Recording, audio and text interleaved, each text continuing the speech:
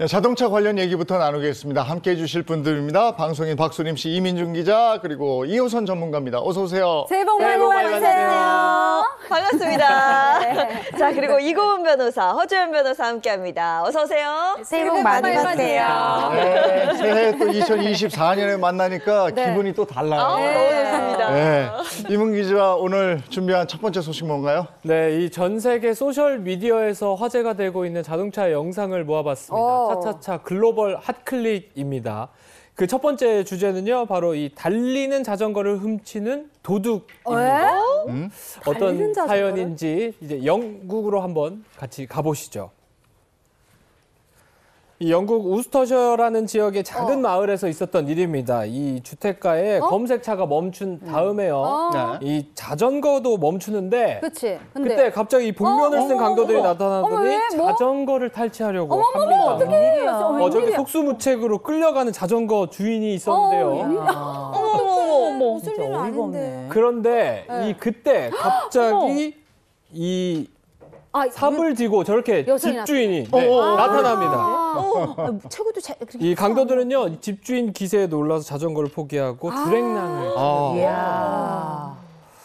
야, 야, 이거 야. 진짜 놀랐겠어요. 벌건. 대낮에 갑자기 나타나서 끌고 간다. 속수무책으로 당할 수밖에 없을 것 같아요. 그래, 저는. 그래. 저 같으면. 그렇죠. 그냥 자전거 줄 것 같아. 너무 무서워서. 어, 아니 이거 웬일이래. 저희 보는데도 깜짝 놀랐는데 어. 자전거 주인은 얼마나 놀랐겠어요. 당연하지. 근데 걸크러쉬라는 말이 요즘 쓰이잖아요. 음. 그 삽을 들고 나온 그 여성 걸크러쉬의 표본이 아닌가 싶습니다. 야. 근데 이렇게 벌건 대낮에 너무 치안이 좀 걱정이 되는데요. 아. 맞습니다. 이, 이 집주인이요 자동차 경적 소리를 듣고 음. 대문 밖에 무슨 일이 있나 봤더니 이 강도들이 자전거를 탈취하는 모습을 보고 네. 이 삽을 들고 뛰쳐 어. 나온 겁니다. 삽이 있었어요. 근데. 네, 그 삽이 어. 벽에 걸려 있다 벽에 보니까 걸려 그걸 들고? 바로 들고 나온 건데 와. 집주인은 그 벽에 있는 걸 잡고 달려가서 도왔다고 이렇게 밝혔습니다. 근데 그거를 어떻게 아니 저, 저 우리가 이제 범죄 상황을 본다 하더라도 삽이고 뭐고 저 같으면 못 나가요. 무섭죠. 무서워. 어. 아니 개, 이 기계도 대단하고 그리고 그냥 막 뛰어 나가더라고요. 그렇지, 그렇지. 아니 체구도 크지 않은데 에, 저 분은 저를 안 만난 게 다행입니다. 야.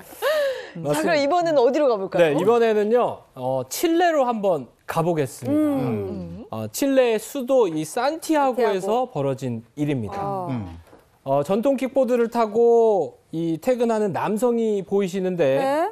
저 뒤에 자동차 한 대가 킥보드로 다가오더니 갑자기 저렇게 어. 킥보드를 낚아내고 합니다. 어머, 웬일이야? 아니 웬일이야. 저게 지금 달리는 차에서 옆에 지나가는 퀵보드 그냥 어, 어우, 좀 저게 상당히 위험한데. 아우 저게 무, 아니 무슨 원한 관계 있는 거 아니에요? 이 타고 정도면? 가다가 아, 그런 건 아닌 것 같아요. 이 균형을 잃고 쓰러진 남성이요, 이 아스팔트를 뒹구르면서 전신 타박상까지 입었다고 합니다. 무엇보다도 이게 차가 많던 도로에서 벌어지는 일이니까 뒷차에 치일 정도로 그렇지, 그렇지. 아찔한 상황이었습니다. 와. 요즘에 이 차가 많이 는 도로에서요, 이 칠레에서는 최근 들어서 달리는 이 킥보드를 이렇게 낚아채려는 날치기 범죄가 잦아들고 있다고 합니다. 네. 피해 남성은요 앞으로 이 출퇴근을 어떻게 해야 될지 두렵다 이렇게 밝혔습니다. 그러니까 저 정도면 뭐 불안해서 밖에 나가질 못할 것 같아요. 당연하죠. 벌건 대낮에 역시 네. 마찬가지로 달리고 있는 킥보드를 차 안에 손으로 낚아챈다? 네. 이거 정말 위험하죠. 굉장히 위험하죠. 네.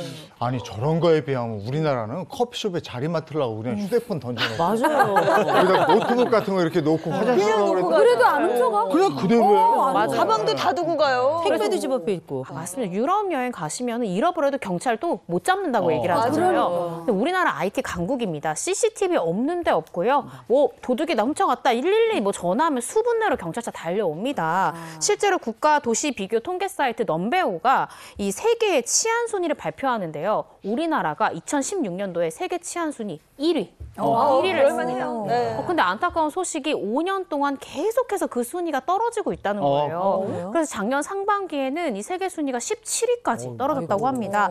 왜 그럴까 보면은 실제로 작년에 사건 사고들을 보시면 네. 뭐 묻지마 사실 칼부림 사건 있었죠, 보복 범죄 있었죠. 맞네. 이렇게 국민들의 치안 불안도를 굉장히 높이는 사건 사고가 많았기 때문에 관계 당국에서도 좀 우리나라 국민들이 우리나라 역시 안전한 나라야라고 생각할 수 있도록 좀 이런 부분들 신경 써줬으면 좋겠습니다.